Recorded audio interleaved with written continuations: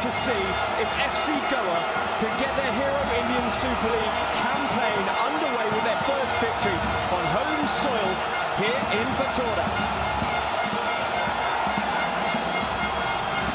He'll take it all day long. That's the thought for that man there. FC Goa will get us underway. Kicking from left to right. Does well to keep hold of the ball spread it out to the left-hand side. This is better from and Van Hout that time was tested.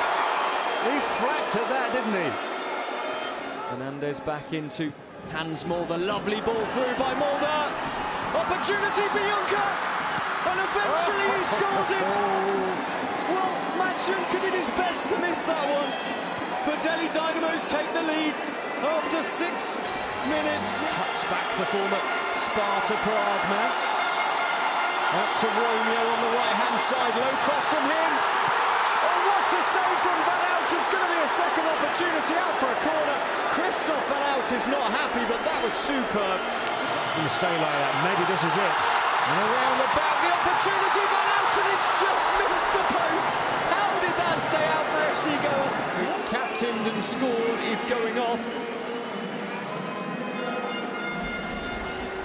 Will The armband gets passed on one more time. But is this going to change how they play now in the second half? Well, it will do, yeah, because Del Piero, with all due respect to the legend that is Del Piero, is not going to give you the presence, the physical presence, or the running. It's at Barkley and Mandar with the cross. It's over hit, but well met, and Jewel underneath it with the header. And it's in! It's Shane Jewel who scored! Miranda heads on.